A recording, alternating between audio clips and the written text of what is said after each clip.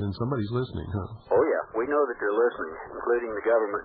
We're right close to Holloman Air Force Base and White Sands Missile Range. Oh, great. Does, does your broadcast cover those installations? It reaches out to where they do some special ops training in the uh, Red Rio area of the missile range. Uh huh. Well, wonderful. Well, that's great. We could just get some more people down there to cover the whole thing. What I would like to do is make sure every military person in this whole country gets to hear the truth about what's going on so they stop their uh, support of the treasonous activities and begin to honor their oath to protect and defend the Constitution for the United States of America against all enemies foreign, and here's the key words, and domestic. I've brought that up before. We're also trying to get up a station down in Holloman, or not in Holloman, but uh, it's called Boles Acres. It's right outside of Alamogordo, close to Holloman. Uh huh. And that will cover Holloman Great. if we can actually get it done. But that wasn't, of course, the reason that I called in.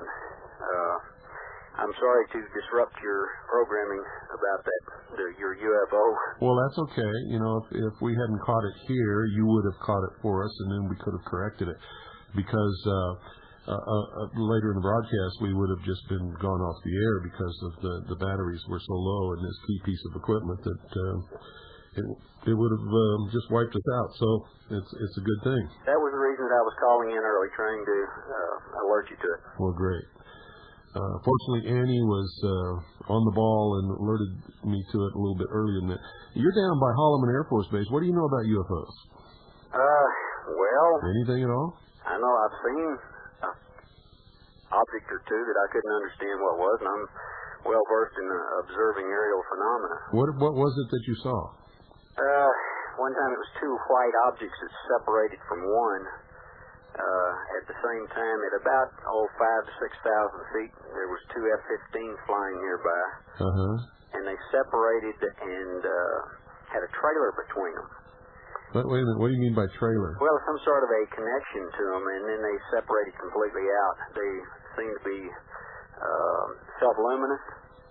Oh, okay, it's kind of like two rubber bands being stretched apart and then they break. Right. Okay. And then uh, as I was trying to get my binoculars, they disappeared.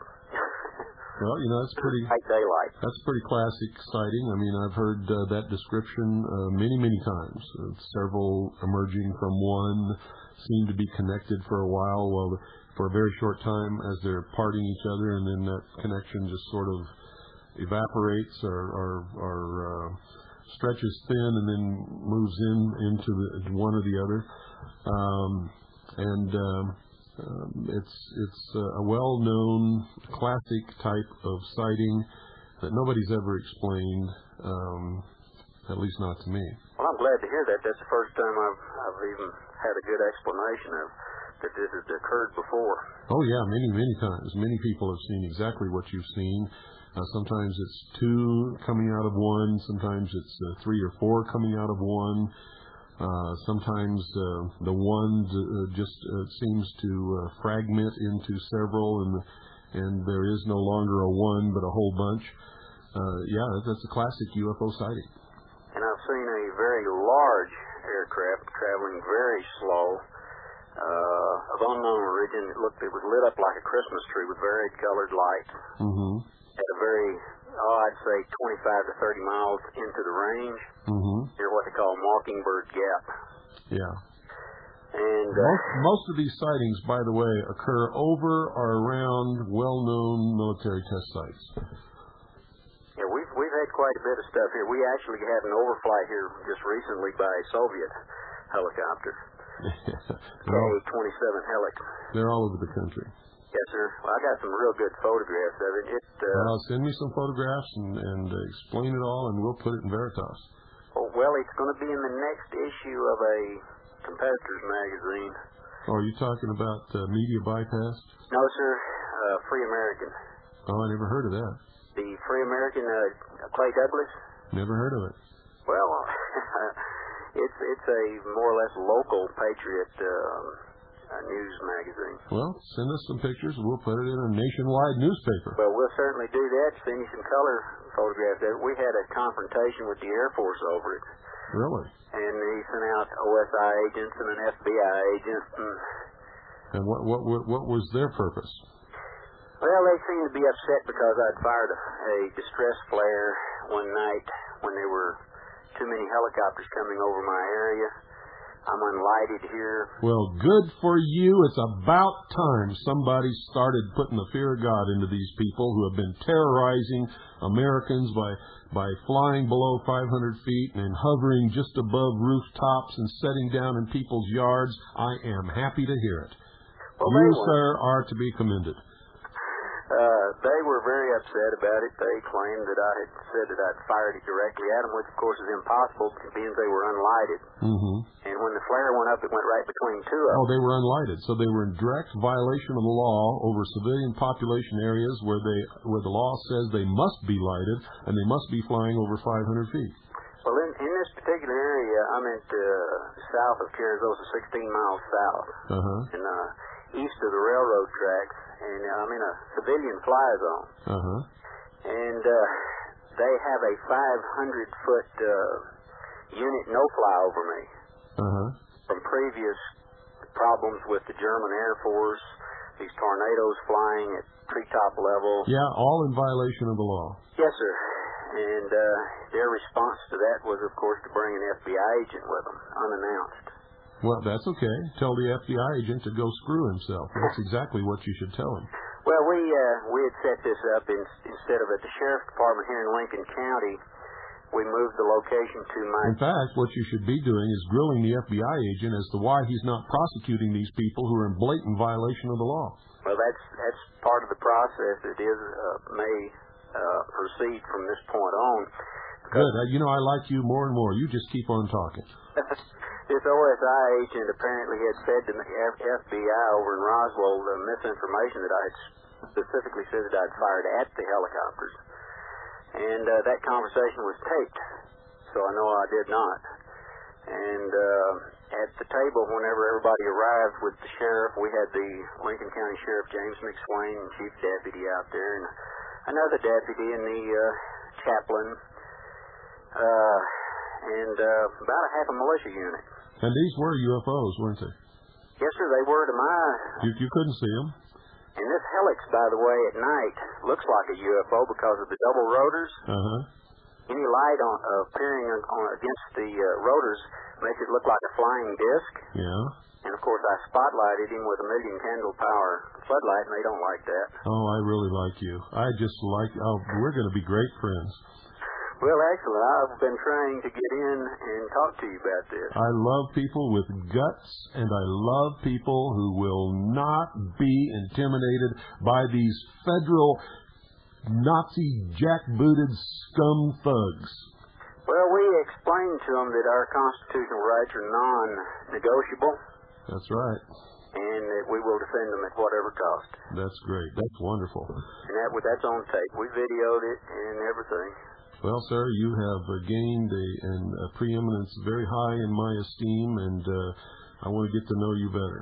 Well, my name is Jerry Carroll.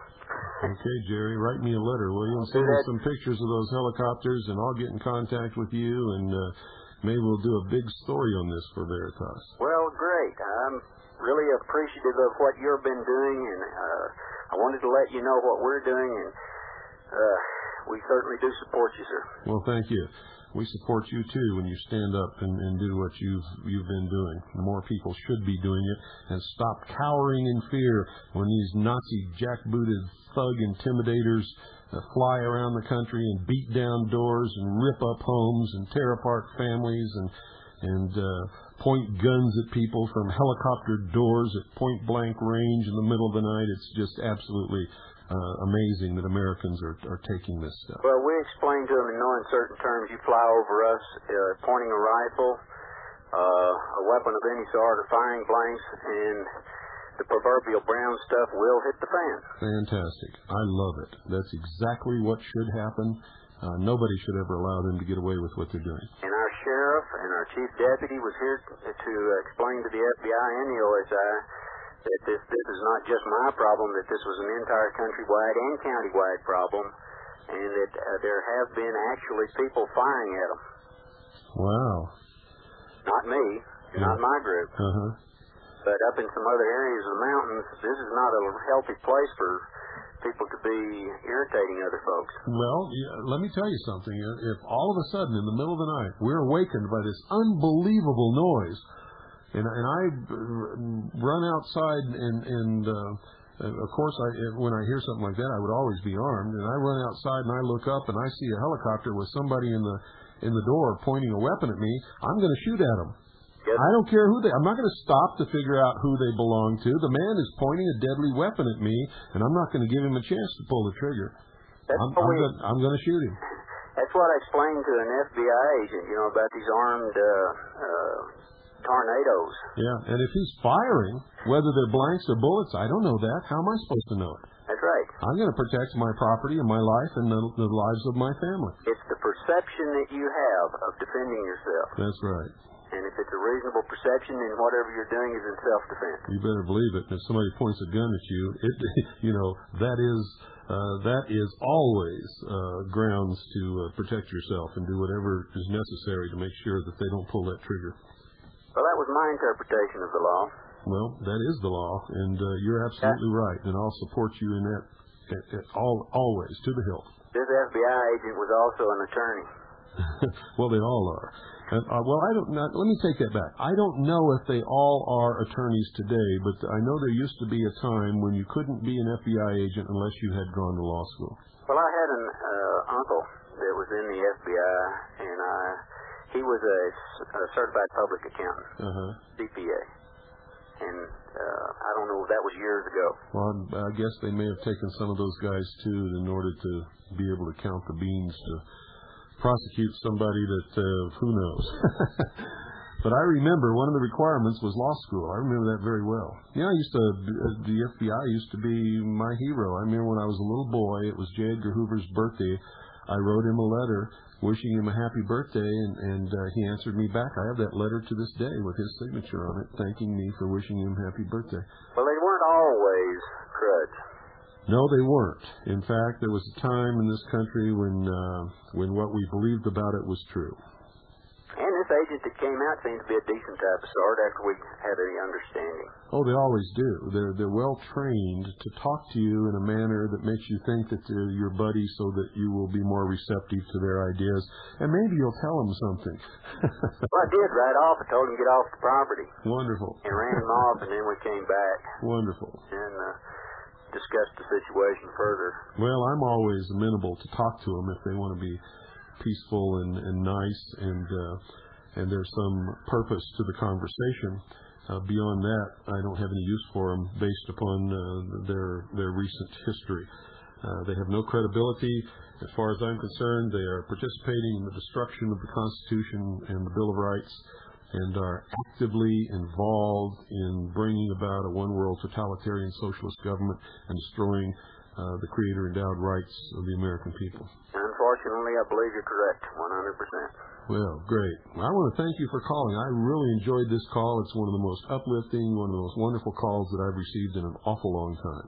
Well, sir, I'm going to certainly send you a packet. I'll send you also. I'd complained to the FAA and sent the packets to them too. Great, wonderful. I'm going to get you a, a full color shoot this, and uh, we've uh, started a petition, a national petition.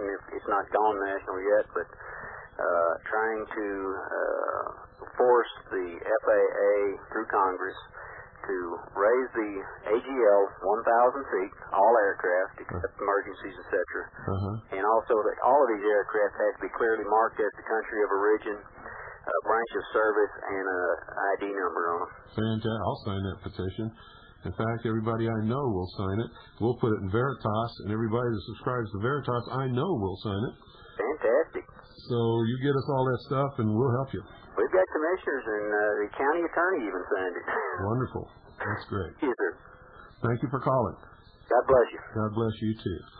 God bless all Americans who aren't cowards, who aren't afraid, who do the right thing instead of cowering in fear every time these jackbooted Nazi socialist thugs come around. I mean, I'm sick of it. I don't, I'm not taking it. I don't know about you folks, but I drew the line a long time ago, and that's why you're hearing this broadcast.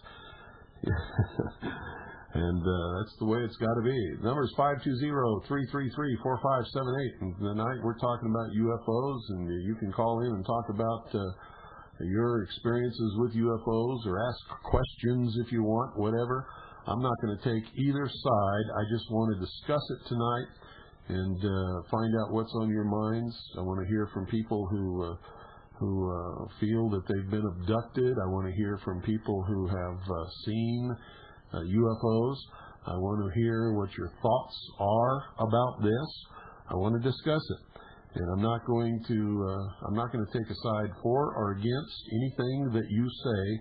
If you ask me a specific question, I'll give you a specific, honest answer. Whether you like that answer or not, you know that's another thing. But if you ask me a question, I'm always uh, honest in my uh, in my response. So uh, you can count on that. Um, if you want to recount your experiences, if you've had any, if you want to talk about uh, or ask, you know, maybe a venture or something uh, subject for other uh, people to comment on, that's fine. But I want to talk about UFOs because I think it's a significant topic, and I'll tell you exactly why right now. Throughout the uh, the history of the world, UFOs have never been um, in the forefront. In fact, uh, nobody has ever, in the history of the world, until uh, right around World War II, ever discussed or brought up the subject or, or uh, you know, have, have ventured that there was any such thing as extraterrestrial visitation of this earth, or that there could be aircraft flying around in our atmosphere that did not belong to any known government on earth. Uh, this is the assumption that's made. People make that assumption not understanding that there are secret projects that are being conducted by literally all of the governments on the earth uh, that could have produced such a thing. But that, you know, that uh, is uh, is uh, up to um, the different uh, perspective and beliefs of different people. We have evidence that this is probably the origin of, of most UF sightings, if not UFO sightings, if not all of them. But you have to understand that there have been times in history where people have looked up in the sky and seen things that they could describe perfectly. For instance, in the 1800s, there was a spate of mysterious airship sightings that were uh, recounted in the headlines and in the stories of the newspapers across the country, and I mean all across the country. And from time to time, this mysterious airship would be sighted. And basically, what people saw was a big giant balloon with this with this superstructure beneath it, and uh, the people that they described that they saw aboard this airship were always, uh, without exception, uh, people just exactly like them, uh, wearing the same style clothing made out of the same type of cloth. And uh, wherever this airship was uh, said to have set down, it always engaged in the normal type things that people do conversation, uh, traded uh, goods for goods, and the goods they traded were never from some extraterrestrial source, but were just common, ordinary things, just like uh, could be found anywhere uh, on the earth. And one point, one well-known story was that uh, the airship uh, touched down and uh, somebody got off dressed in, you know, a top hat and nice uh, clothes of the time, and traded some buckwheat cakes, cakes for some fertilizer. Don't ask me what they needed the fertilizer for. Maybe they were raising a garden on deck aboard this thing. I have no idea, folks. Uh, but you could read these stories in the newspapers of the time. They're legitimate stories. Uh, they're not uh, they're not wild, way out loony bin type things. Somebody built an airship based upon a balloon, and they had some type of propulsion uh, propellers that made this thing go in the direction they wanted it to go. And um, and it was reported as being seen in various places at various times, always along the route that had, had been reported as traveling before. So um, that's really the first time that UFOs are are really uh, mentioned, and it's not really a UFO because it can be identified as as a balloon carrying human beings. Uh, you know who owned it and what country it belonged to. Nobody knew that but uh, they always spoke uh, good English, American English, whenever they talked to someone. So uh, the the conclusion, the logical conclusion, that it was somebody who lived in the United States or on the North American continent who built this uh, balloon type airship with the with the superstructure below it that was traveling around, seeing the, the country from the air, I guess. I don't know. I'm just guessing. Now, all through the history of the world, and even on Columbus's voyage, uh, at one point on his voyage before he discovered America, he uh, wrote in his logbook that he saw ships of light sail silently across the sky. What does that mean? I don't know. He could have seen some meteors enter the atmosphere and travel, you know, through the atmosphere and glow very brightly and then disappear into the distance. Um, that may have been what he saw. Nobody really knows what he meant by ships of light sailing silently across the sky. It's you have to make a guess. In uh, some of the annals of the ancient Romans, there is reference to shields of light that appeared in the sky. Nobody knows what that could have been or what that means. It could have been reflections off of a cloud at sunset. Nobody knows. Nobody knows what they were talking about when they made those kinds of statements.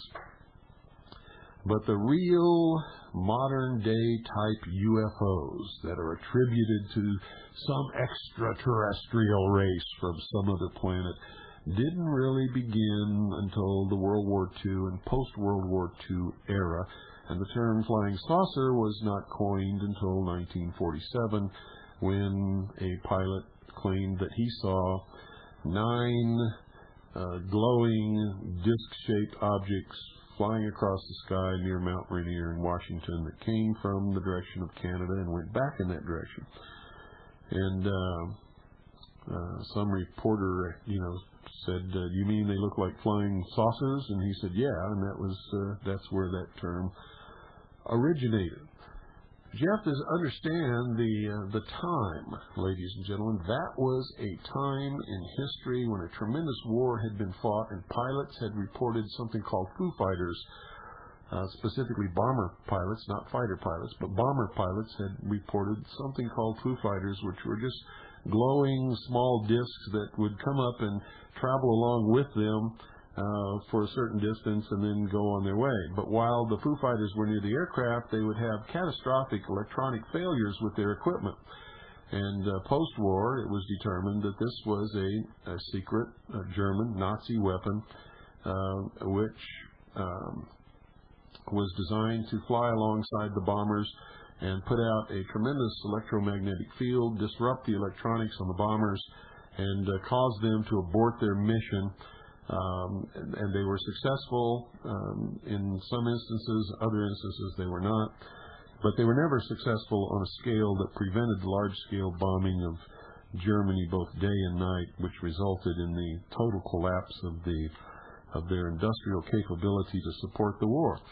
And um, we also know that secretly there were other uh, craft uh, being developed that were disc-shaped that actually may have turned the tide of war against the Allies had these uh, craft been actually developed to where they would have been viable weapons platforms because nothing could have uh, maneuvered against them or or uh, uh been effective against them in the skies because of their speed and their maneuverability.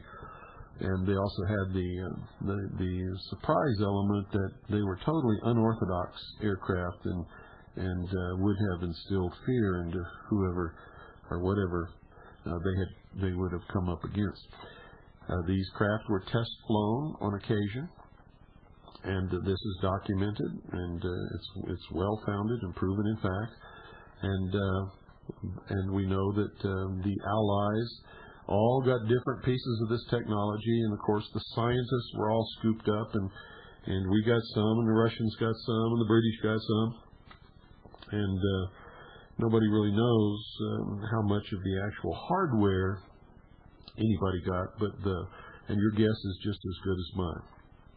But we do know that around 1947, these disc-shaped craft that the German had be, Germans had begun experimenting upon uh, before and during World War II, all of a sudden began appearing in the skies over America and Canada. That's the North American continent, over the United States and Canada and I have to apologize. I didn't mean to um, venture that uh, Canadians were not Americans because they certainly are.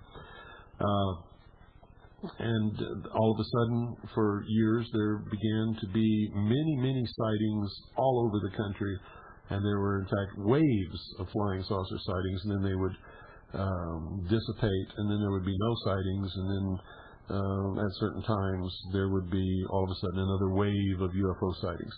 At one point in the 1950s, there were multiple sightings of UFOs over our nation's capital, Washington, D.C. Uh, we know that Hollywood quickly picked up on this, and there was a spate all through the 1950s, uh, tremendous uh, number of uh, uh, flying saucer movies, all with the same theme, I might add, that human beings were dangerous and we were destroying our world, and the aliens came to warn us and, and stop us from this terrible activity because if we uh, weren't held in check, we could not only destroy our world, but their world and the universe and all this other kind of bullshit. And uh, on and on and on and on and on. One of the one of the uh, the great classics that will illustrate all that I've just been telling you is The Day the Earth Stood Still with Michael Rennie and uh, and uh, oh, what's her name? Um, oh my goodness, I can't believe I've forgotten her name one of the great stars, suffered a stroke and came back and, and taught her body how to function and, and just a great Patricia Neal. That's her name. Oh my gosh, if I had not remembered that name, I really would have been disappointed in myself because she's one of the really great actresses of all time and a truly brave and admirable woman for the comeback that she made after she suffered a severe stroke where she lost her power of speech and, and uh, total movement of, of, of one half of her whole body. And uh, uh, she didn't give up, and she came back and, and talks just as normal as anybody else, and and has taught her body to uh, to do all the things that it always could do, despite the the great loss of brain tissue um, that she suffered during that stroke. But uh, if you really want to see the great message post World War II, it was that all humanity has to come together in one world government and disarm and disarm so that there will never be any more wars and so we won't threaten the other civilizations in the universe and all this kind of stuff. And um, it was all orchestrated. I believe that the Roswell incident was a part of that. Um, but when you call tonight and we talk about these these subjects, um, you know, I'm not going to tell you what you should or should not believe. I just want to hear your opinions, and I will not give you uh, my opinion unless you specifically ask for it or ask me a specific question, and then I'll give you my truthful answer uh, to that. Um, the UFO phenomenon has never ceased to be a point of major interest of millions of people, not just in this country but around the world. Um, there have been um, uh, tremendous uh, sightings, uh, incidents.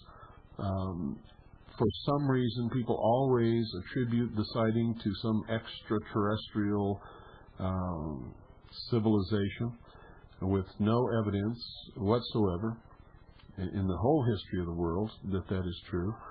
Um, and I don't really don't know why that is, unless it's just wishful or hopeful thinking. Um, wouldn't it be nice if there really was somebody out there who really did take an active interest in us and really did want to make sure that freedom and peace and and good things prevailed in this world as well as uh, wherever else. Um, but that's a form of escapism, and uh, uh, up until the time we take calls, this commentary is mine. When we start taking calls, then the commentary will be yours. I would love if anybody in this whole world has any proof that extraterrestrials are real um, and that they're uh, visiting this Earth. Um, I would just, I would love to see it. If real extraterrestrials really came here and landed in my on my mountaintop and got out and said, "Hey, Bill, why don't you come for a ride with us? Uh, we'll show you some wonderful things." I would not hesitate for a moment. Uh, but the fact is, no such thing has happened, and not to me, not to anybody uh, that I can determine. There are an awful lot of interpretations and wishful thinking, and and uh, there are an awful lot of people who believe that that has happened to them, um, but nobody, and I mean nobody, ladies and gentlemen, has been able to prove yea or nay Uh, there just is no proof for, and really there's no proof against either. It's sort of a stalemate at this point. So let's take your calls. The number is 520-333-4543. If you've had a UFO experience, I want to hear about it. Where was it? What was it that you saw? What What is your uh, take on it? What do you believe about it? Do you uh, do you think that uh, it was from some other world? Could it possibly be from this world? Did you actually meet somebody face to face from what you you know that you believe was an extraterrestrial? And and if so, what was the result of that uh, meeting? And I know there's an awful lot of you out there who are extremely interested in this type of thing and have uh, been involved in it for maybe many years. And uh, there are, an awful lot of you I know who have had sightings of these craft. I have seen them uh, in the air on numerous occasions. When I was in the Navy on the USS Tiru SS-416, uh, I saw one of these crafts come up out of the water, tumble on its axis 180 degrees, and disappear up into a cloud layer. And uh, I was dumbstruck because it was huge. And up until that point, I thought all these stories about UFOs were just uh, were just that stories. But that sure changed my uh, my realization of the reality of the world. I can assure you, I knew from that point on that uh, they were real. And I'm not talking about UFOs. I'm talking about strange craft, the origin of which nobody can tell anybody else, um, and uh, the purpose of which remains to this day uh, unknown. There are a lot of theories. I have my own ideas. I think I can prove some of my ideas. Other people may think that I'm full of baloney, but uh, that's neither here nor there.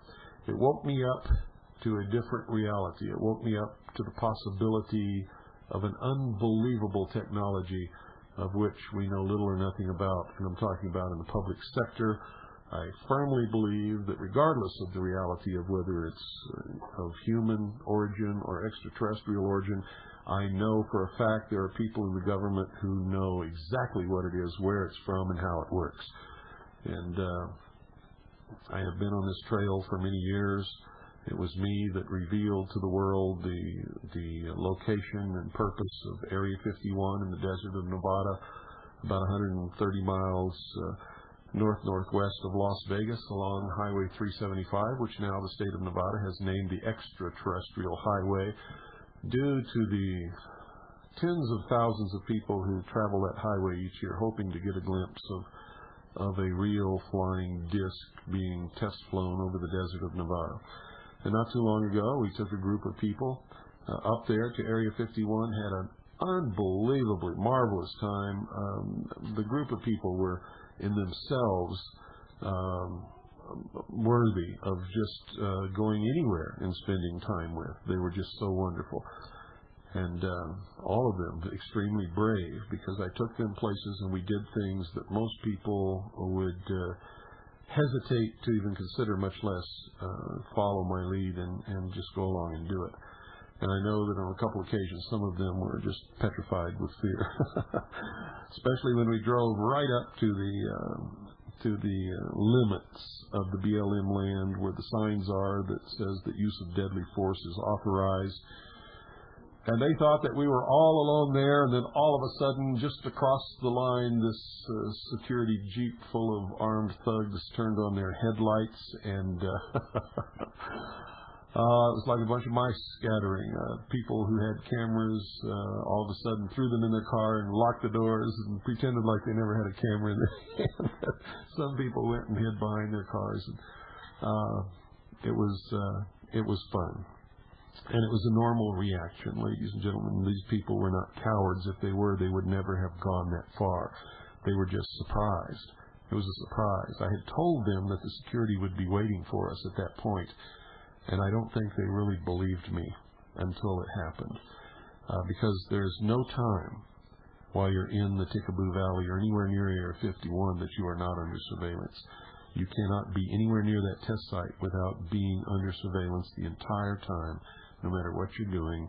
Even if you don't even know it's there and you're just passing along the highway, somebody is watching you every single moment.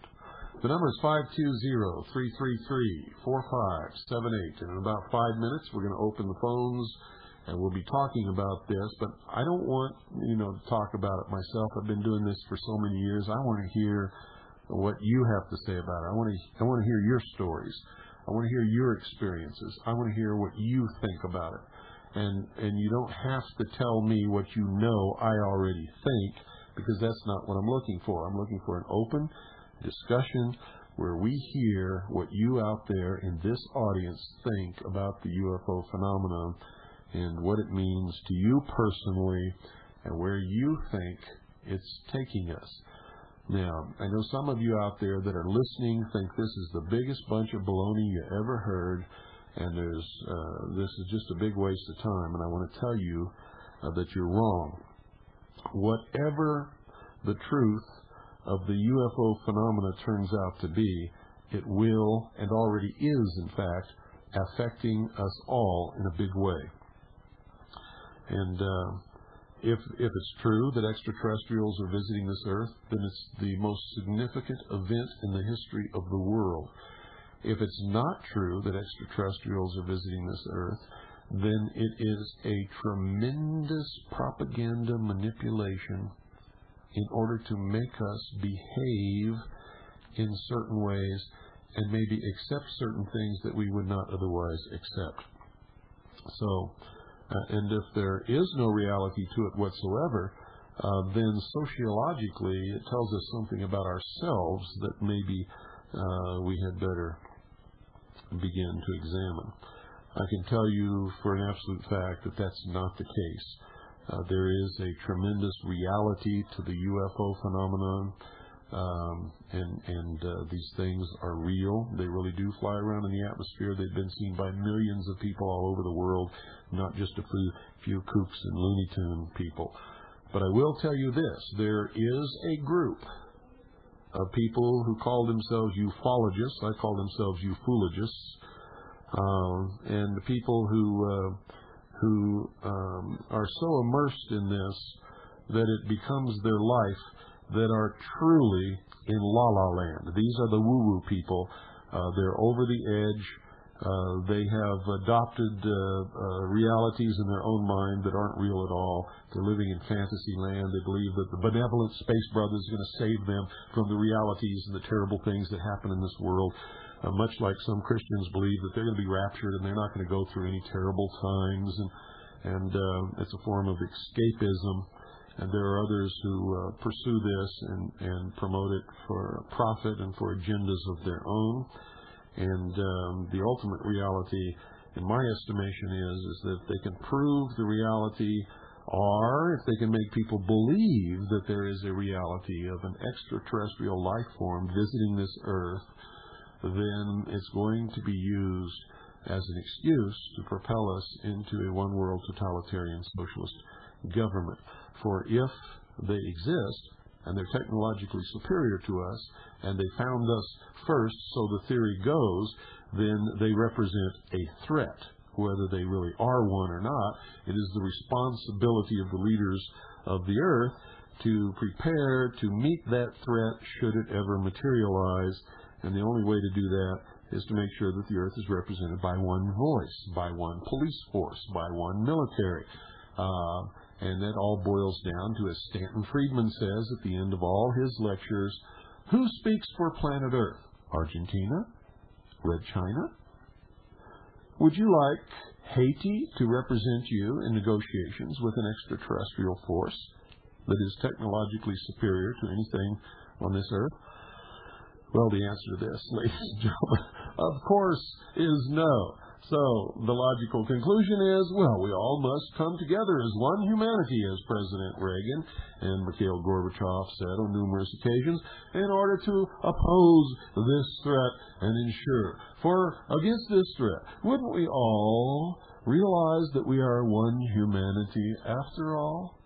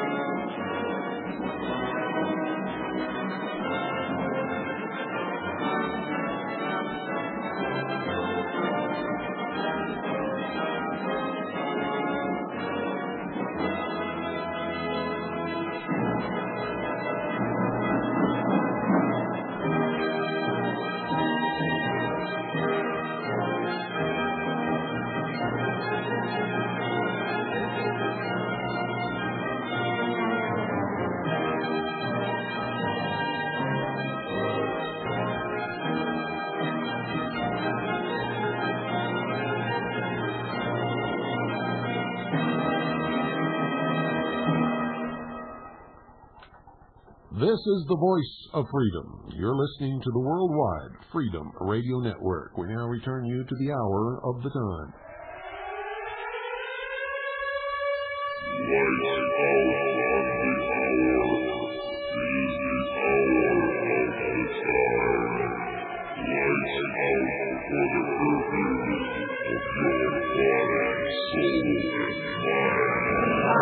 Well,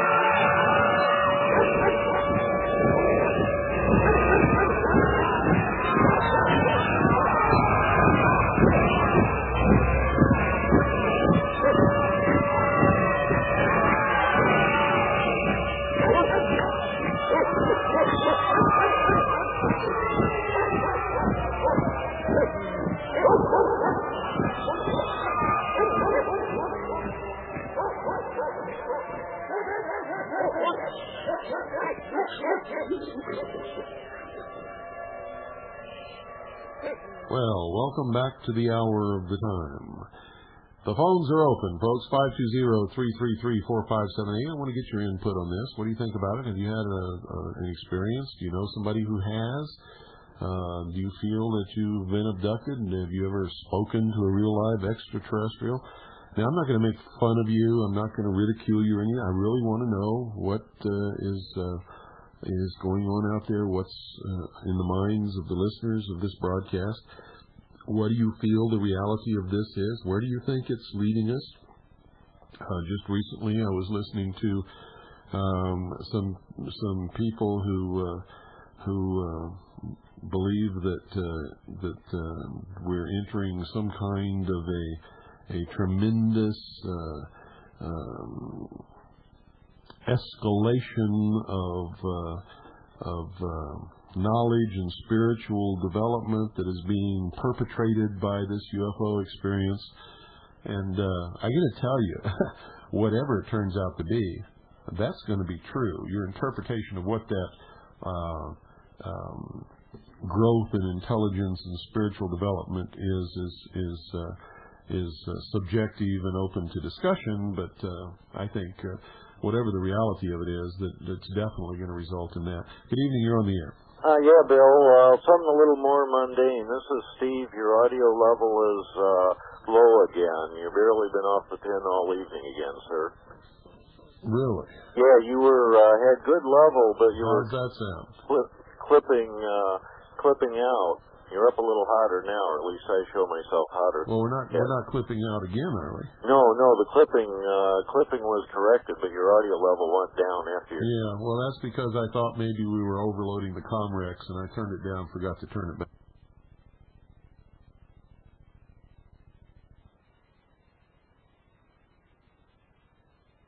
a there's a picture of one disassembled in uh, uh, the history of World War II. It's a uh, a um, rep document that I have here, and they had a picture of uh, one of those made out of uh, plywood. They represented as a prototype, and uh, nothing more was said. But it was a steel truss frame covered with um, plywood, looks like real thick. Uh, marine plywood and was powered at that point by two of the jet engines similar to used on the ME-262 and curiously enough the picture was it was disassembled being prepared for shipment. Ah. The thing was on its side but you could see some of the salient points like the engine nacelles and uh, stuff like that. But the the actual turbines weren't in it it was just uh, assembled but you could see the cross section of the saucer shape uh-huh.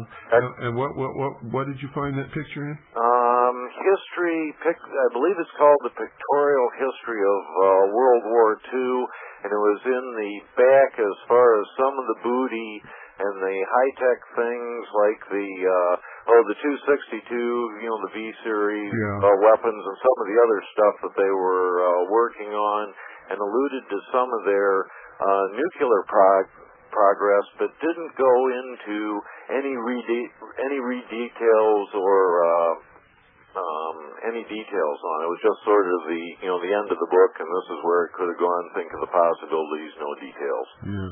Well, the possibility of a, Germany developing an atomic bomb was slim since they had never uh, reached the stage of developing the heavy water that they needed.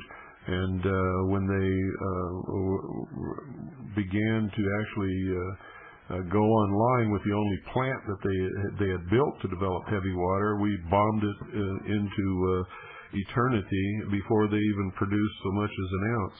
Yeah, but they didn't go into a real wartime economic footing until 1943, as far as getting uh, serious, as far as very, uh, very costly long-term development. Yeah, and by that time we had air superiority and it was over. It was over. Yeah. Well, who published that book? Do you know? Oh, I'd, I'd have to go get it, uh, Bill. I actually, had it down here a a week or uh, a week or so ago, and threw it back up in the library. Uh-huh. Okay. But uh, the information's out there, and there are pictures of, uh, of that exact thing. And then it just all falls off the radar. Fancy that. Yeah, well, that's because when the Yeah. when the governments that got that technology realized uh, how important it was and what they could do with it, uh, then of course they put down this veil of secrecy which has existed to this day. Yeah, and I love what you're doing out there at uh, Groom Lake 51. I think that is just such a travesty that our tax dollars and our Constitution are allegedly supporting this these people, and they won't tell us what they're uh, up to. I mean, Oh, that isn't the black half. budget thing's got to really be turned over. Yeah, well, that isn't even the half of it. According to the Overflight Treaty, uh, Russia and any other nation that's a signatory to the treaty uh, can fly over Area 51 at any time that they want to, using the most uh, the most uh, uh, technologically developed and, and up to date uh, uh, uh, spy equipment, and photograph and listen to and and uh, and discover exactly what we're doing there, but not one American citizen uh, can climb up on a mountain and even look at it with binoculars anymore. Yeah, wonder who who they trust. Well, it is certain they don't trust us. Right. Carry on, sir. Excellent. thank you. Thank you for calling and thank you for your input there. 520-333-4578 is the number. And I want to hear from you out there in uh, radio land, satellite land, FM land, wherever you're listening, internet land. I want you to call me right now at 520-333-4578 and tell me what you think about all this. Whatever you think about it is is uh, fine with us. We want to hear what that is. We want to hear if you've had any experiences with these so-called UFOs. And UFO, folks, simply means unidentified flying object. If you look up in the sky and you see a duck flying at 3,000 feet and you can't tell it's a duck, it's a UFO. And that's the truth because the term simply means unidentified flying object, and anything that you see in the sky that you cannot readily and quickly identify, and uh, even later identify, is a UFO. Most of them, for the most part, always turn out to be normal, average, everyday, explainable, mundane, normal things. There is a percentage however, that are not normal, average, everyday, mundane things and cannot be explained uh, by anybody, although some people try. Uh, they just don't succeed in most instances. I have seen these things myself on many occasions. I know other people who are credible, um, honest, truthful people who have seen them, and uh, literally, there are millions of people around the world who have seen these uh, craft flying in our atmosphere. Uh, no one, to my knowledge, uh, can prove that they are of extraterrestrial origin or that they have ever been, or any of them have ever been of extraterrestrial origin, uh, are now of extraterrestrial origin, or ever could be, or that extraterrestrial life even exists anywhere in this universe. So that is all conjecture, and if you believe in that, that's okay with us. If you want to tell us what you believe and what your experiences are, that's what we want to hear. 520-333-4578, and as usual, if I don't get a call in two minutes, folks, I'm going to shut this down and go to bed and uh, not play this silly game that uh, you appear to be trying to play every night with this telephone thing. You want to have open call-in shows, but then when we have them, uh, it's almost as if you have to be pried uh, loose from your couch and over to your telephone in order to make the calls. Once the calls start, they never stop, and that's just amazing. It's like uh, it's like everybody's waiting for the first person to pick up the phone and dial. You now got one and a half minutes, ladies and gentlemen, to start the ball rolling, or it will be the end of the broadcast of the hour of the time for tonight. And I'm going to tell you something. If this kind of behavior continues, uh, I'm going to go back to one hour of just imparting information with rarely ever having uh, call-in shows like I used to do before. And you're now at the one minute mark. And, uh, and give up that second hour to somebody else like uh, Michael Cottingham, who will be following this broadcast beginning October the 1st, and you've got to hear him. I mean, he is just fantastic. Good evening. You're on the air. Hey, this is Charles in Georgia. Hi, Charles.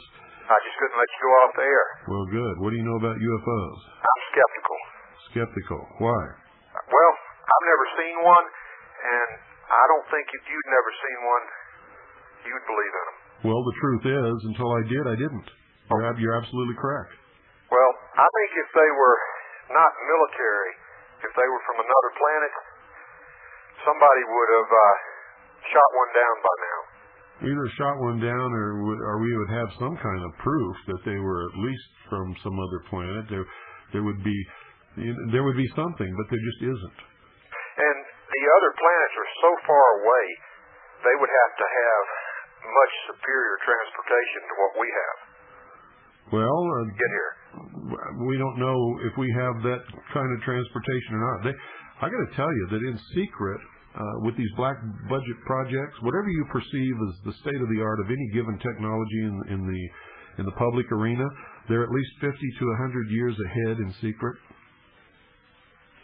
Were you aware of that? No. Well, that's the truth. Uh, the old priests of the mystery religion of Babylon have learned how to hoard the secrets and uh, and use them to control populations. And and uh, whether they're doing this with UFOs, um, I happen to uh, believe that they are, but other people believe that, that that's not the case. So, uh, how did you? What what is what do you know about UFOs, if anything? You read any books on the subject? I did several years ago, and I reached the conclusion they were either military and or um, people who were hysterical. Uh-huh. Uh, power of suggestion. Uh, people would see things that they wanted to see just uh, just by staring off into space. Well, I think probably in some instances that that's probably exactly the case. I know that if you uh, look up in the sky on some nights, you'll see some stars that you'll swear are moving, and they blink all different colors, and people will swear that stars don't do that. The truth is, stars do do that, and uh, uh, they will swear that they've seen uh, a, UFO.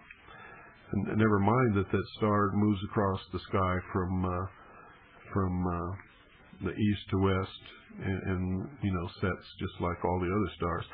But there are some unusual things that happen. If they're all stars, they should all come up and move across the sky and set on the other horizon. If you, however, open a camera lens while it's on a tripod and just leave the lens open so the stars track across the film, they will always be perpendicular to each other, or I should say parallel to each other, the tracks of the stars. If you see one of the tracks that's moving in any other direction, it's not a star. Is it? Must not be. Uh, speaking of horizons, I heard a show you did about a month ago about the fake photos from the moon, Yes. and there was something about the horizon you said would give it away as fake pictures. Well, I'd, I'd have to go back and listen to that tape. Nothing comes to mind right away, but then I was prepared to do that broadcast. Well, I think you said all the pictures had the horizon. oh, yeah, now I know what you're talking about. The horizon of focus of the camera was exactly 100 meters. So you think they filmed all that in some studio? Oh, they had to have because they were using Hasselblad cameras, and in the kind of light that they would experience in space, in order to in order to produce perfectly exposed color uh, film, uh, they would have had to stop the lens down to a very small aperture, in which case the the uh, limit of focus would have been infinity. Well, I'm not sure I heard on your show or whether somebody just told me about it, but I heard somewhere that when they were jumping on the moon, they should have been able to jump real high since the gravity is like one sixth of Earth. That's correct. And they only jumped about a foot. That's that's absolutely correct. And one other thing I heard was that the uh, transmission back to Earth took a real long time to get here.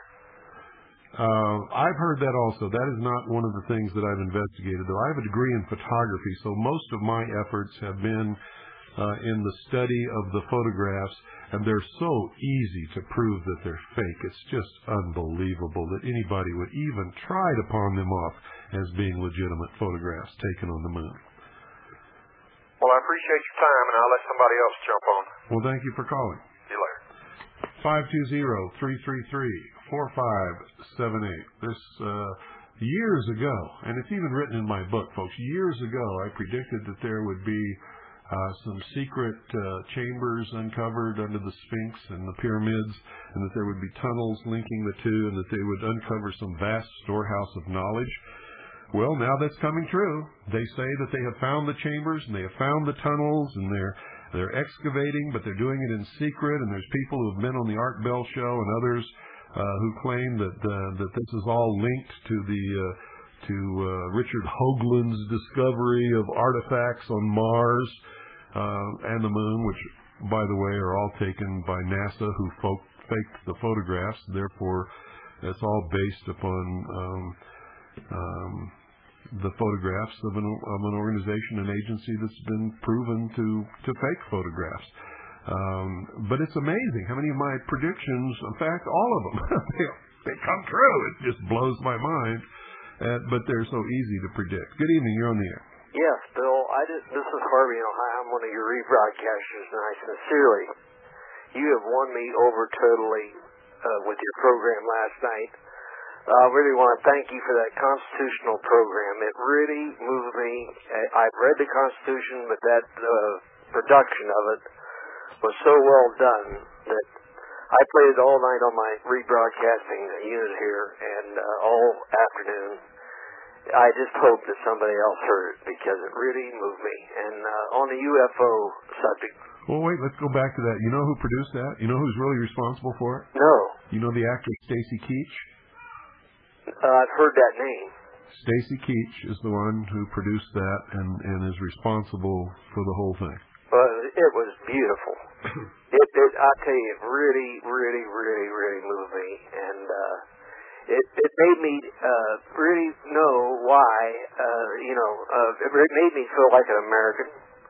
I can't tell you. I, I just really can't put it into words. Uh, I did better on my own uh, little broadcasting unit than what I'm doing here tonight. hmm But Well, well, uh, they'll- they'll- it they'll- was really well done. I, I just played it over and over and over. Well, great. So it had to move people that heard heard it. Wonderful. There'll be more of that type of uh, program as as the time goes by. I can assure you, because that's that's the main thrust of this broadcast. Well, I just, I just, I want to encourage people out there that to get uh, some kind of a unit, and uh, this time I won't mention any names, but get some kind of rebroadcaster. Let's make this work, people. This is a chance for us to take the airways back. Bill uh, has done a four and a half years, or maybe longer than that, up there, working his butt off, get, uh, making uh, what do you call it? Uh, what's the word when you uh, research? And he's the one, people. And I, I just want to encourage everybody. Let's get our own. Let's take the airways back. So get these broadcast units up and working. Don't make excuses. Don't be afraid of the FCC. Uh, they're more harmless than uh, UFOs, as far as I'm concerned. Yeah. Well, not all UFOs are harmless. There have been some cases where they have well, I don't know. You know, but apparently appeared to harm people. The Cash Landrum case comes to mind where uh, they were driving their car and all of a sudden there was this huge diamond-shaped UFO in front of them surrounded by military black helicopters and um, everybody thought they were crazy and all of a sudden their hair started falling out and they began to demonstrate the classic symptoms of radiation sickness and uh, they were in fact exposed to a tremendous uh, dose of radiation which uh, caused them some tremendous uh, health problems for quite a while. Well, I definitely uh, disagree with the last gentleman uh, with respect. Uh, that I do definitely believe that there are UFOs. Where they're from, I do not know, but I can tell you my experience, uh, what uh, my experience, and uh, I don't know how enlightening it will be, but I'll tell you what happened to me and my wife. It was in the daytime. I've seen lights at night, which you couldn't uh, document, you might say. But uh, uh, this was in the daytime. We were coming up over a hill. We got uh, it was a pretty steep hill. We were up over top of the hill, and it was a real gloomy gray day here in Ohio. And we have some gloomy gray days here, let me tell you. And all of a sudden, these uh, brilliant flashes of light and this V-shaped object, which was flying, uh, instead of flying with the point, uh, you know, where the point you you think it would be flying in a V shape, it would be flying. The, the point would be it was flying the other way. Yeah, like a ship. Understand what I'm saying? Yeah, in the Navy we call the pointy end the bow. That's the one that goes first. Well, anyway, but uh, what got me, what was so spectacular, was there was a lot, there was quite a lot of traffic, and these big flashes of light, like I, I can only emphasize, like a hundred thousand times brighter than what a little flash bulb would be on a camera. And it was just like they were taking pictures. I mean, you know, this was in the daytime. There's flashes of light, you know. Uh-huh. And I thought, I thought, wow, people will be stopping on the highway and just say, what the hell was that? You know, I thought people would be pulling over thinking, is this the end of the world? What is it? You but, know. But nobody stopped. Nobody stopped. so since nobody else was pulling over, I didn't either. I kept going too. But we were in amazement. So I told uh, my wife, I said, don't say anything. Wait till we get back to the house.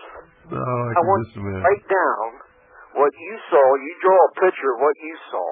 Uh-huh. And then let me draw a picture of what I saw. So we went, you know, and I went to the kitchen, she went to the front room or whatever. And we both drew the same thing. Well, that's a good way to do it. And uh, what it was, I don't know, but I've never seen such bright lights Yeah. flashing like that in all my life. And what it was, I had no idea. It was not the sun flashing through the through the clouds or anything like that. Uh-huh. I mean, I've seen that. That's rays. That's not flashes. But uh, is that a UFO? I don't know. Is that Well, if, a if, plane? if you couldn't identify it, it's a UFO. UFO simply means unidentified flying object. If it's flying in the air and you can't identify what it is and you've never heard or seen of anything like it before, then it's definitely a UFO.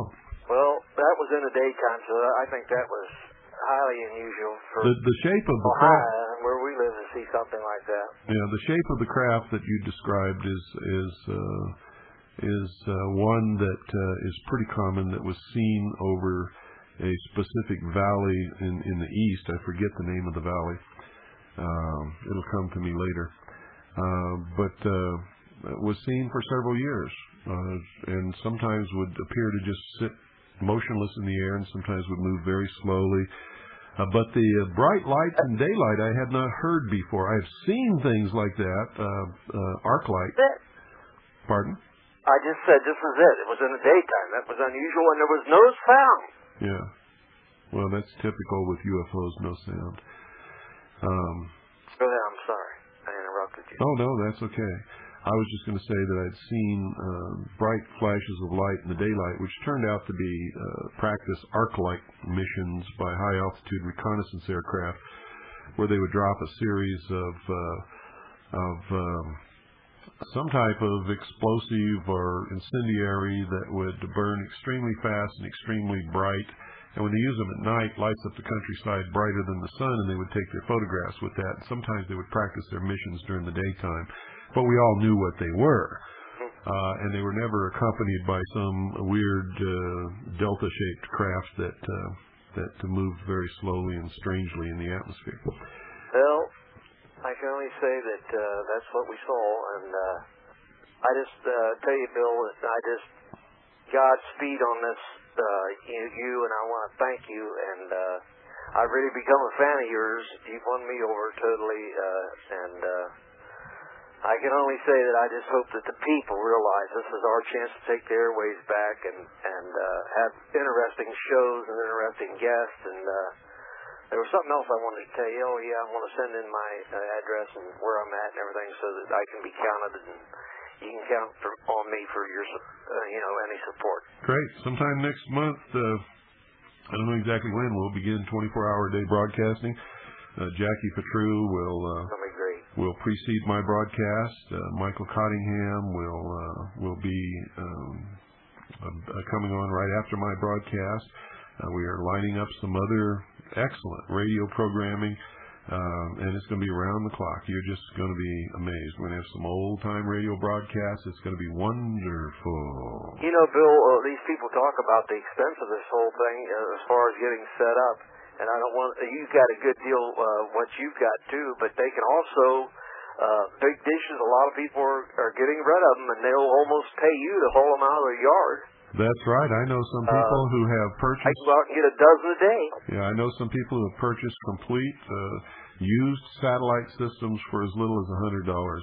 Oh yes, The whole thing, and uh, Right. all you got to do is watch the penny saver and read the one ads or the for sale ads in your newspaper and your penny saver and your bargain, whatever it is, and uh, you'll find them there.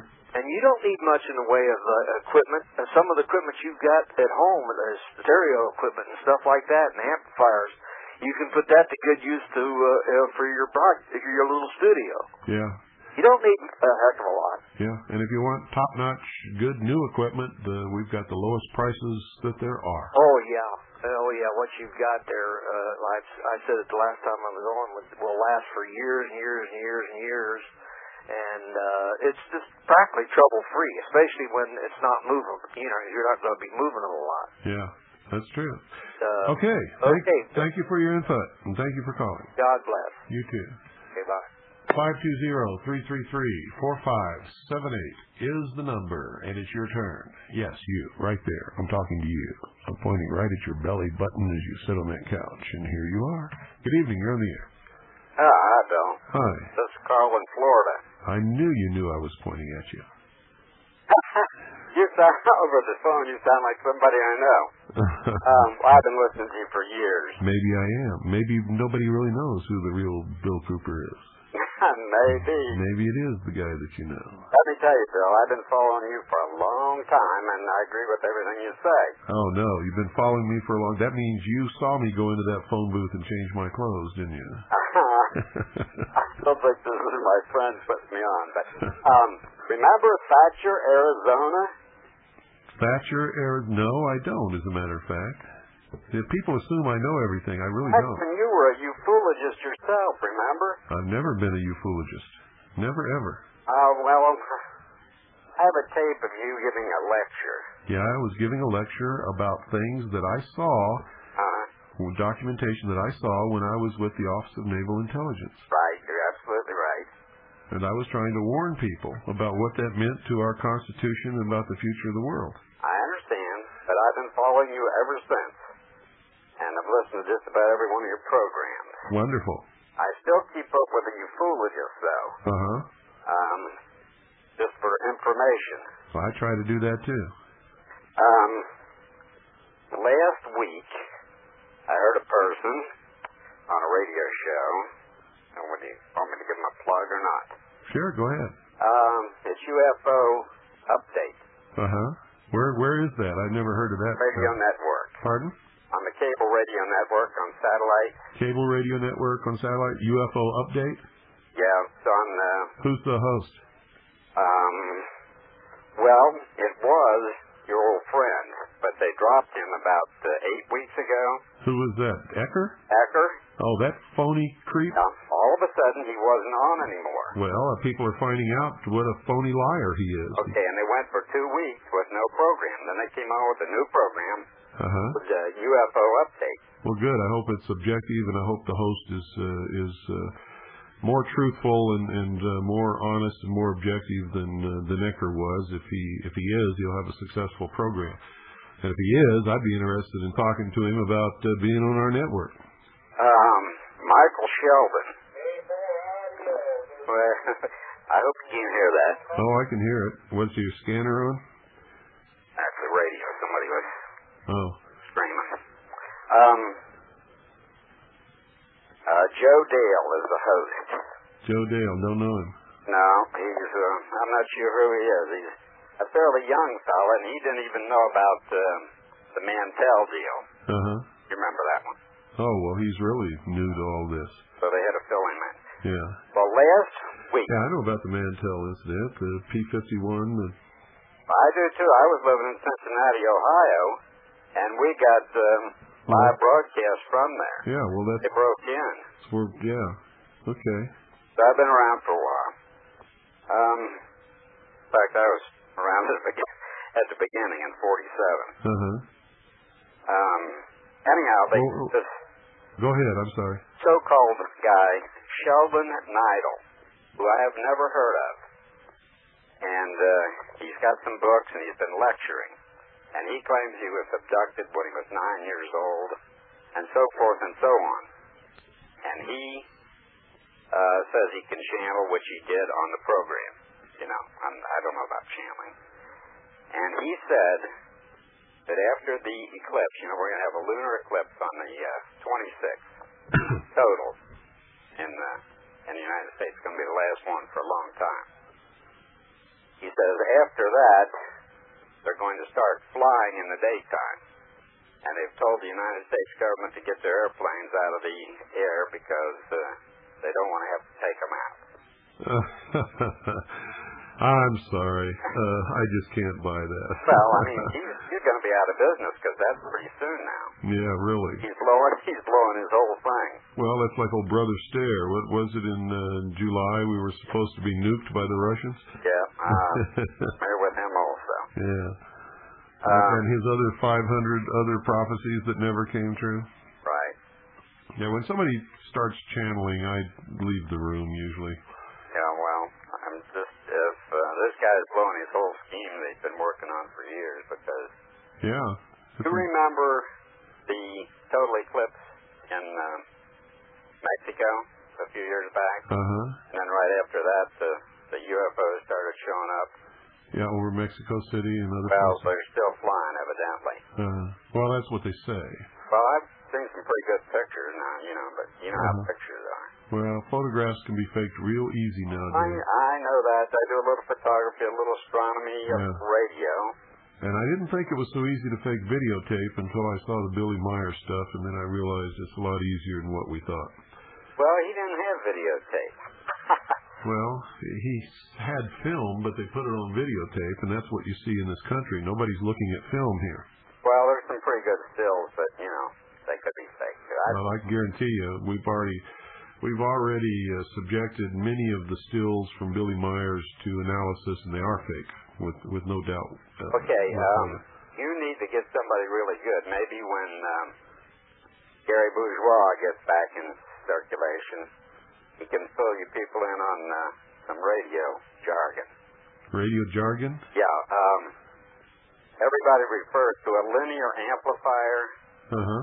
That is um, only used in AM broadcasting. Well, what do you call it with FM broadcasting? Between the transmitter and the antenna. It's a Class C amplifier, Class C amplifier. and uh, it's uh, different from an amplitude modulated transmitter. Uh-huh. C, Well, nobody knows what you're talking about anyway. well, um, Unfortunately. for FM, don't refer to it as a linear amplifier because this is not a not a linear amplifier. Yeah. Okay. Non-linear amp. So it's a it's a what? It's a Class C. There's A, B, and C, Uh-huh. basically. A amp is linear, but completely linear. You know what linear means. Yeah, in line. I know what Yeah, you're right. And that's what you use in audio. Uh huh. In um, in RF, like in CW, you use a Class C. Yeah. Uh, the carrier's only on half of the time in Class C. It's uh, you know about AC. If you make a spike and shut it off, it will drop back down. Yeah. You'll have AC. Mm-hmm. Well, in amplitude modulation, you can't do that. It'll be all distorted. But in FM, you can use a Class C amp. Okay. Class C amp is much, much more efficient than a Class A. Class A, uh, you're wasting about half of the power that's going in. I see. So um, when you're talking about FM, it's just an, call it either an RF amp, well, just call it an RF amp. radio frequency amplifier. Okay. All right. From now on, it's an RF amp. You, all you guys hear me out there? we have been educated. Line- linear is something the CBers, uh, they call a linear. They- They're not even, uh, you know, they don't speak the, the English uh, too good, so much. They call it a linear amp. Well, all you got to do is listen to their broadcast, and you know they Well, you speak English too good. really running Class C on those amps. and that's why it's so distorted. Whatever they're running, it's uh, it's really screwed up. I, don't- I want to tie it up. Let somebody else get in. Okay. I wasn't like going to let you go off the air, so I thought I'd call. Well, thank you. Okay, bye. Good night. 520-333-4578 is the number. Well, that was an interesting call. Now we know that uh, we don't refer to these things for FM broadcasting as linear amplifiers. They are RF amplifiers. Good evening. You're on the air. Yeah, Bill, how you doing? Good. This is Ernie up in Wisconsin here. Hi, Ernie. What do you know about UFOs? Well, I tell you, back in 1965, I lived up in a little town called uh, Park Falls, Wisconsin. What's the name of it? Park Falls, Wisconsin, little Par- town. Park Falls? Mm-hmm. Okay. It's like the north northwestern part of Wisconsin. Okay. Well, anyway, I was I, well, we were outside one night and we seen little lights flashing in the sky and stuff, and they were there for like about 30 to 45 minutes about. And all the neighbors were out. They'd go up and across and different bright lights. Well, needless to say, after a half hour into it, we heard two sonic booms. And apparently they sent up uh, some fighters from, uh, used to be an air base up in Duluth, Minnesota Yeah. and they, I think they were the older F-102s, whatever. And uh, we, uh, they came right over. They came right over and just heard the booms, and then they were apparently trying to go after them or something, but they just shot and totally disappeared. And the lady next to us, I remember that she was like, a, I believe she was from Germany. She was like a war bride or type thing, and she said that she hadn't seen anything like that since uh, just about towards the closing of the war in Germany. She said she's seen them quite a bit over there. There was a lot of activity, you know, down the closing year of the war.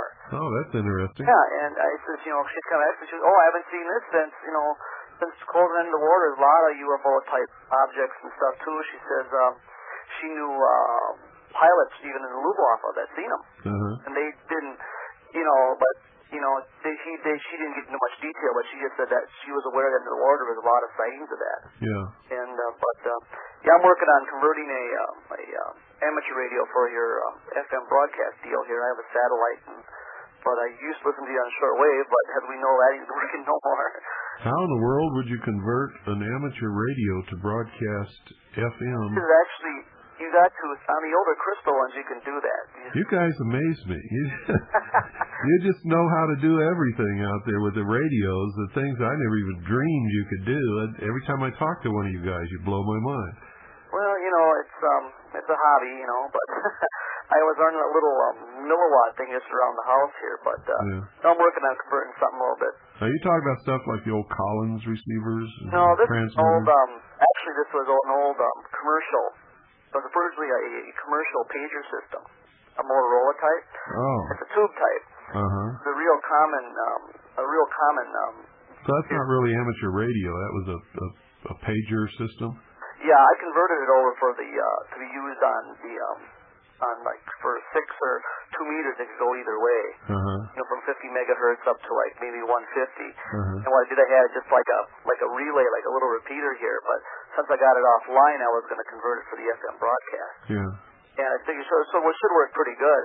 But um, I was going to say too, a few months ago, I think I sent you a old Reader's Digest. I don't know if you received that or not. But, What was the subject? um, it was uh, February 41. There was just some subjects in there about you talk about how the economics are controlled by. by the- Oh yes, yes. I we I did get it. Yes, I did. Yeah, and uh, I thought that was quite interesting. That article on even before, I mean February 41, we weren't even really in it, but how they're already manipulating the economy Yes. and how people were saying that Japan's buying our scrap and turning into weapons and nobody's paying attention, you know. Yeah. And I just thought that was kind of a neat. it was wonderful. It, it it is neat and it's extremely educational. You read that, yeah, it's very educational. You read that and you go, people were aware of this stuff back then, Yeah. but yet nobody really reacted or or or did anything like that. And I just think that's amazing. But I just I'd call in and say I I got some satellite too. I put together my I put together my system for about a hundred bucks too. So Well, I rated uh somebody uh, buddy of mine runs a TV shop, and somebody wanted one of them little dish dishes put in, hmm and we put it in. And he goes, "Why did you go to his house?" He goes, "You guys want this? You can have it." So basically, we hauled it away, and I got a couple cheap receivers and put them together and got a system going. You know, so. Well, that's great. Yeah, it's, you can do it pretty re- economical now. A lot of people are going to that smaller dish and, like you said, read your shoppers or even check with your um, satellite or TV places. You know, it's and Yeah, sometimes they get trade-ins or stuff that they, sure. they don't want to mess with. They just soon get rid of it. like I said, I have an older an older system. It's called a Birdview system. It's not exactly you know the most modern, but I got like about eight receivers. You know, so I'll n- always have parts. You know. As long as it works, that's Oh, what sure. counts. Some of the best radio receivers and transmitters in the world were made back in the 20s. Oh yeah, yeah. I collect older radios too. I have a And this microphone that I'm using right now was made back in the 20s, and it's the best that there is still today. You Oh, I- cannot get anything better than this. it's an Electro-Voice, I believe, isn't it? Or It's an RCA 44BX. oh them are wonderful mics. Yeah. I like listening to um I like listening to I always listen to shortwave. I have an old Delco uh, four model radio. It's like the old Philco shortwave. Uh-huh. I always listen to you on that, you know, and there's just something about the tube sound, you know, it's uh it's just a classic sound I guess you can say. Oh, if you've ever heard one of those old radio, there be there are people now who are collecting them and restoring them. And if you got a lot of money, you can even buy one, but uh, they cost so much that it's yeah, prohibitive. restored a couple myself, you know. They have the most incredible sound you've ever heard. It's it's because when I was a kid growing up, you know, I, I'd sit there and listen to radio teletype and CW on that old one we had just because I thought it was neat. Yeah. You know, I I tell my I tell my sons this is you know I think nowadays you guys are missing out on some of the real treat of what radio was like. You know, you had to use your imagination a little bit. You know. Yeah, I remember that when I was uh, when I was a boy. My mom would tuck us into bed at night, and then she would turn on the radio, and we would listen to Suspense and and uh, the Whistler, and the Creaking Door. And, Yeah. And uh, then you know, sometime during there, you'd drift off to sleep, and you you wouldn't uh, wouldn't wouldn't hear at all. But uh, but I remember laying there in the dark, and I could see the Whistler lurking in the shadows, and in your mind, you could see the whole thing. It was better than television ever dreamed of being, because you could create in your mind whatever your mind wanted to put there instead of having something put there for you. Yeah, that was really neat. Well, I'll let somebody else jump on in here. I know so we're getting about 15 minutes here, but yeah, well, I just wanted to see if you got that, and like I said, I'm I'm definitely going to get you back on the air up here anyway, and uh, Great. nice getting into you, and um, you did send me some information for uh, for buying some books and stuff too. I appreciate you returned my letters, so. But um, well, thanks a lot, Bill, and God bless you. You're welcome. Bye. Good night, and thank you for calling. Oh, by the way, folks, before I forget to tell you, all the information packs have gone out on the satellite system and the low power FM transmitter and the sales uh, items and the tapes and all of that kind of stuff. They're all in the mail, so you can be expecting to be receiving them uh, within the next few days. Um, and um, we're you know we're extending this sale probably till the end of October, and then it will end uh, and or maybe the 15th of October. I'm not sure, uh, but it will definitely go past the 30th of September when everybody thought it was going to end. For right now, let's just set it at the 15th of October and leave it at that. So the sale will end the 15th of October. All the info packs are out to you. If you haven't sent for an info pack, please do now so that we can get it to you before the sale ends. And uh, everything that we have is on sale, folks, except for Oklahoma City Day One. We cannot put that on sale.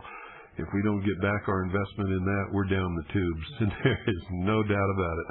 So uh, we can't put Oklahoma City Day One on sale at all. And don't forget, uh, if you haven't ordered your copy of Oklahoma City Day One, they have been printed. They have been bound, except for the hardback uh, collector's edition. Uh, that will be uh, in in in process of manufacture a little bit longer because uh, we're getting top quality binding. The pages are going to be sewn, and the binding is just tops. I mean, you can't get better quality. So uh, the collector's editions will be coming later, but the uh, paper trade uh, books are on their way now. They're on a truck on the way here, and I don't know how many days it's going to take for them to get here. But as soon as they get here, we're bringing Michele Moore in to uh, sign all the books that uh, that have been ordered signed. And you cannot order any more paper trade books signed, ladies and gentlemen. We are not doing it anymore. If you want a signed autographed edition, you have to buy the collector's hardbound edition. uh, which is uh, limited to 500 copies. It's hardbound. It's a top quality book. Uh, it's a first edition, collector's limited to 500 uh, copies, period, in the whole wide world. And that's $65 post-paid for the collector's edition. If you want the regular paper trade, it's $35 post-paid. Get your orders in now because they're on the way. And as soon as they get here, uh, the ones that uh, don't need to be autographed are going to be sent out immediately. The ones that need to be autographed, as soon as Michele puts her John Hancock in there, they're going to be going out too. So, anyway, that's that. 520-333-4578. Give me a call. Tell me what's going on with the UFO thing with you. Good evening. You're on the air. Yes, Bill. Uh, this is Fred in California. Hi, Fred. Um, say, uh, on the, uh, I don't have any flying saucer stories of my own, really, um, but uh, I have a book uh, called Space Aliens from the Pentagon by William R. Lyne, L-Y-N-E. Yeah. Have you ever seen this? Well, tell me what it's about, and I'll tell you whether I've seen it. Yeah, it's subtitled "Flying Saucers Are Man-Made Electrical Machines." Yes, I have seen it. Mhm. Um, the guy that lives in New Mexico, right? Yes. Yes. Okay. Yeah, it's very good. He misinterpreted my uh, my take on the thing. Uh-huh. And a lot of people do that because they fail to call me and ask me about it before they go off the deep end. But anyway, it's very good, uh, and I highly recommend it. Yes, it's it's one of the most enjoyable books I've ever seen. Uh, it stands right along with yours as far as I'm concerned for uh, the kind of a book that you can open to any page and and uh, you're you're hooked. Yeah. So, and uh, he's in uh, Lamy, New Mexico. Uh huh. L-A-M-Y, General Delivery, Lamy, New Mexico, and uh, the book is uh, 17.95 plus postage. So uh, What's what